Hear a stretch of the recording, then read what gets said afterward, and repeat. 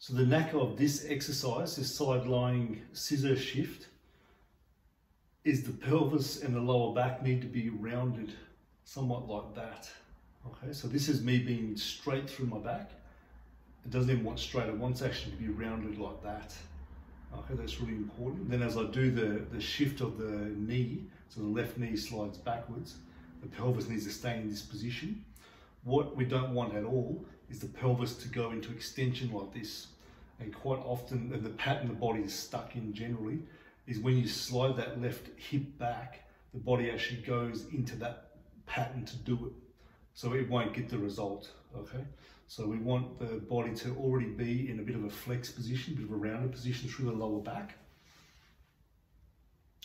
And then when you pull the hip back, it stays in that rounded position. So from the side, that's what this looks like. So I've got a pillow under my head. I've got my knees up 90, deg uh, 90 degrees at the uh, hips at 90 degrees and knees at 90 degrees here.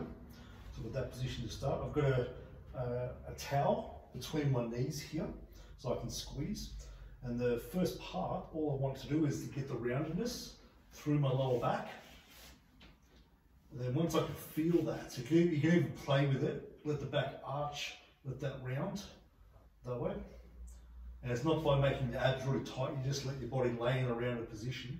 Then I slide my left knee back. So the pelvis will look like it's uh, here and it goes back like that.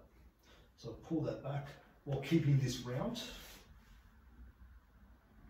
Then I squeeze the, the towel for five seconds. And let it off. Then I'll do that again, so I pull back and I'm using the left adductor. So the, the high adductor here, you'll feel this muscle work pretty hard and you want to make your awareness go to here to use this muscle because that's the one that pulls the hip back that we want to use to pull back. So you're just practicing getting the knack of that motion because we use it with the next lot of PRI exercises.